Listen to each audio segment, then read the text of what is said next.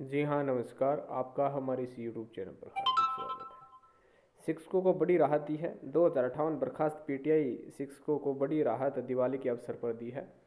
सरकार ने उन्हें एडजस्टमेंट कर दिया है। दो हज़ार अठावन बर्खास्त पीटीआई को उनके आश्रितों को दिवाली का तोहफा दिया सरकार ने उन्हें खेल व स्कूल विशेष सहायक के पद पर नियुक्त किया है।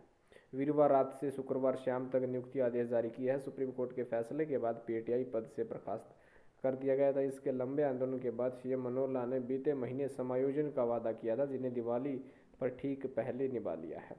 बर्खास्त पीटे व उनके आश्रितों से खेल व स्कूल विशेष सहायक पद के लिए आवेदन मांगे रहे थे, मांगे गए थे। नियुक्ति तो इन्हें मिल गई है। इनके नियम व शर्तें स्कूल शिक्षा विभाग जल्दी जारी करेगा। इन्हें संभवतः चौबीस हज़ार रुपये वेतन दिया जाएगा। ये स्कूलों में खेल गतिविधियों के अलावा संस्था से जुड़े कार्य भी देखेंगे। स्कूल शुरू होने पर कोरोना के प्रति विद्यार्थियों को जागरूक करने का काम भी इन्हें सौंपा जाएगा। तो आप देख सकते हैं कि बहुत बड़ा फैसला हरियाणा सरकार ने लिया है।